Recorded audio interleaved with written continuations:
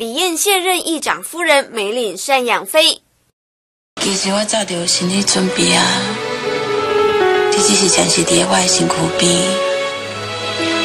这段时间是我扣掉的。但是议长夫人呢？啊，不对不对，是前议长夫人，我们都还没心理准备呢。议长的事务实在太繁繁忙了。李燕跟彰化县议长谢点玲结婚才一年半，日前经传已经离婚。离婚原因众说纷纭，但从他的脸书可窥知，他这阵子并不快乐。还有邻居爆料，夫妻俩经常争吵，但李燕昨天否认，我们其实很少吵架，他不太会跟我争执。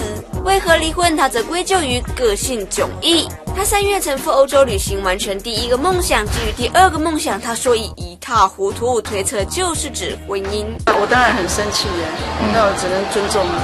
儿子跟媳妇离婚，李燕的前婆婆立委郑汝芬也是在事后才被告知。虽然有一点不舍，但是我还是要尊重儿子，尊重媳妇。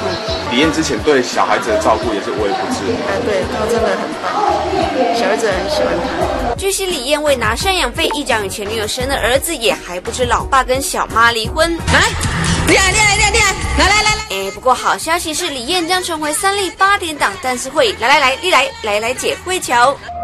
一笑，